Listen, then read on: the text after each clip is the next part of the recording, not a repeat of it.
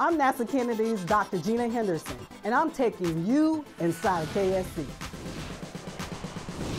NASA, United Launch Alliance, Boeing, and Department of Defense personnel conducted a successful integrated crew exercise on February the 12th.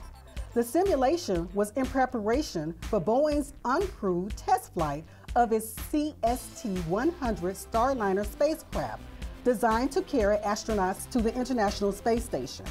Boeing's Orbital Flight Test, OFT, of Starliner is targeted to launch no earlier than April on a ULA Atlas V rocket from Space Launch Complex 41 at Cape Canaveral Air Force Station.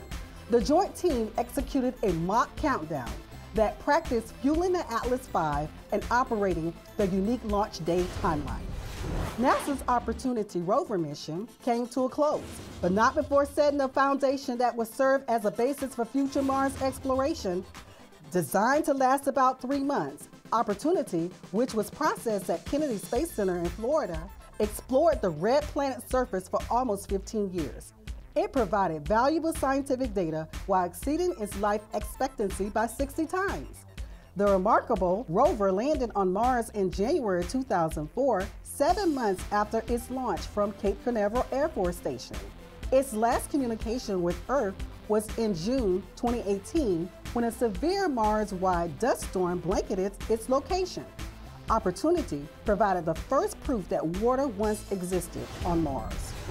It's Engineering Week, and across the nation, engineers are being recognized for their contributions to society.